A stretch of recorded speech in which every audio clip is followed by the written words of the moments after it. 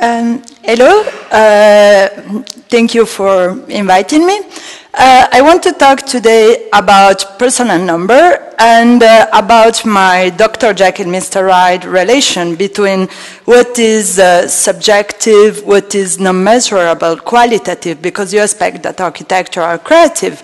And everybody say, think out of the box and do mistake, but then no, you go in jail and uh, you will have to pay if you do mistake. And so how you manage that because you have to live in a two dimension and find a way to put everything together. So, oh my God. Okay. Uh, when we think about creative uh, atmosphere impalpable, this is uh, Gabriele D'Annunzio house uh, in the Lago di Garda, is an Italian poet, and you see that as very inspirational, like uh, very emotional and so on. Uh, Gabriele D'Annunzio was a kind of control freak, so his thing is not casual inspirational, is highly designed, obsessively designed the equilibrium of the color and everything.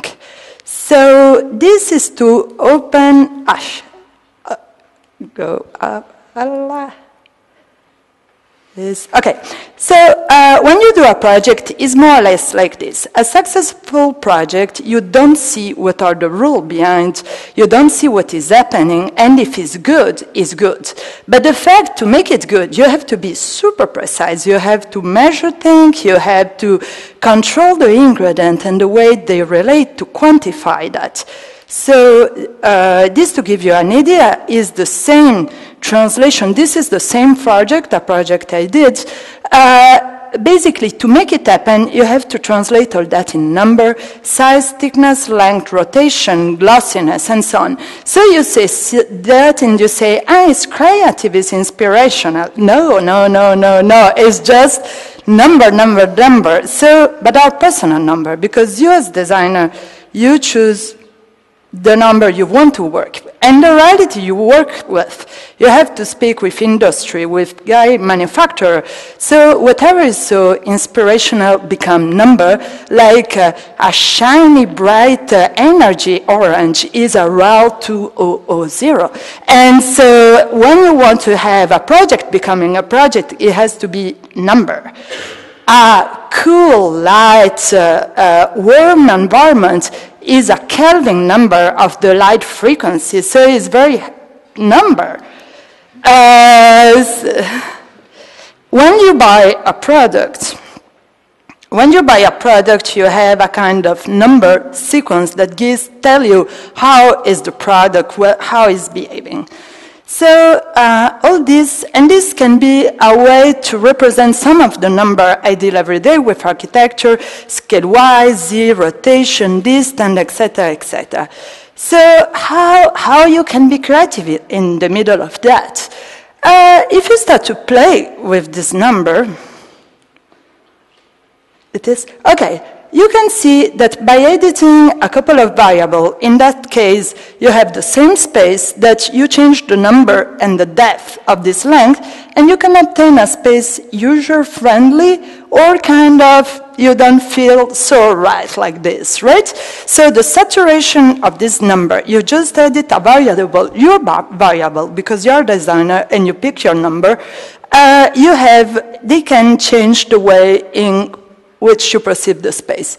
So uh, number are just not the number itself as the past and so on, but they, like the, the recipe you cook, but they how, how they relate, how they connect is not that this chair is green, but is this chair is facing an audience. So everything is always related to something else. You never have static number, but you have dynamic one that interact one to each other.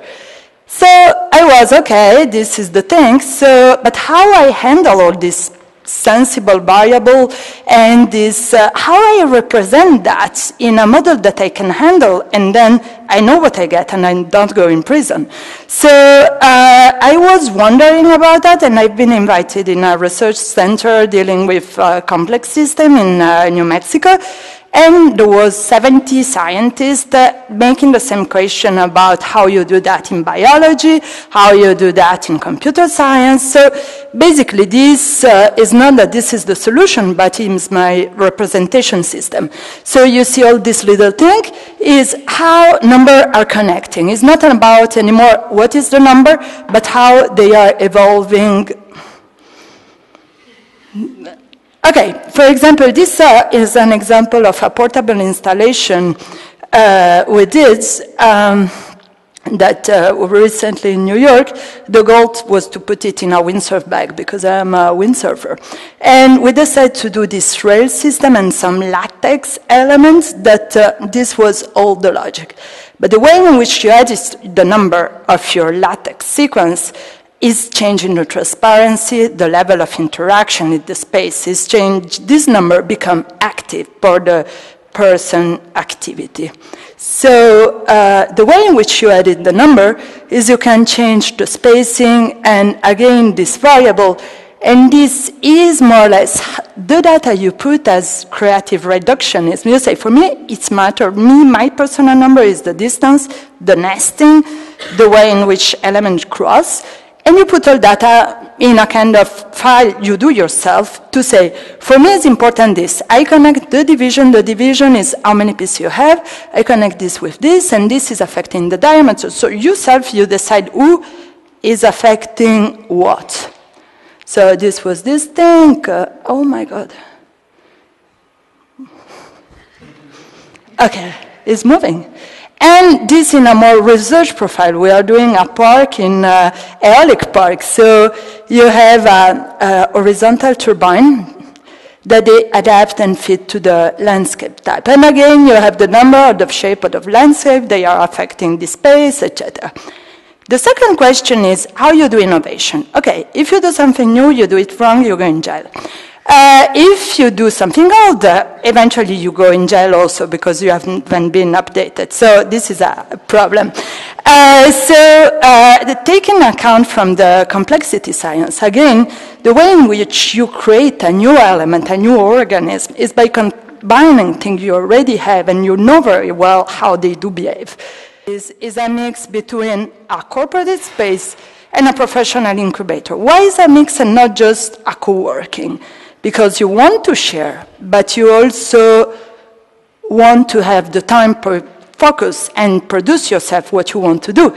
So we divided the space in level of socialization and privacy.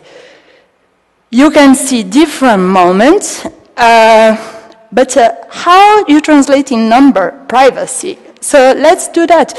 Okay, you want your table, you want to share a a space, but you don't want somebody looking at your document. So we could obtain the same result by doing a larger table and a smaller screen, or a smaller table and a larger screen. These are the numbers you pick yourself to say, I prefer to share the overall space by the same level of privacy.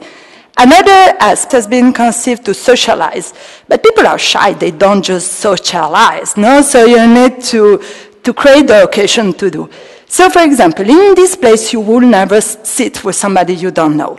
So we started to say, what happens if we do something an hybrid between a bar situation, like in a pub, in which your, the number of the table is higher, you stay like this, you are not in the same space. I put this image because it's seen again, but it's true. When I, beside the number part, when I, uh, wait a second.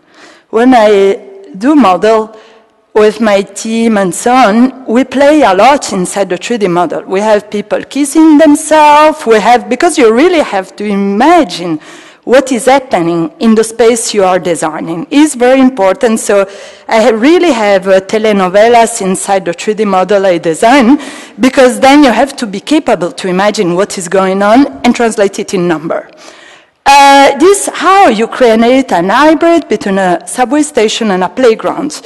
Uh, a subway station is boring, is dry, etc. We did this project with Cork. We were asking, so how you play?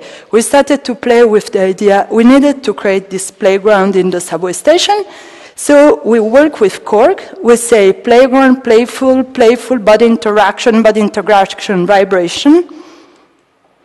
Um, so we developed this installation that was in Cork, and it was playing with the idea of number in terms of flexibility. Our variable is to say, I move a position like this, is my element is vibrating like this, and when I move the Z position is less vibrating, the response. So again, you numerize your idea of playfulness.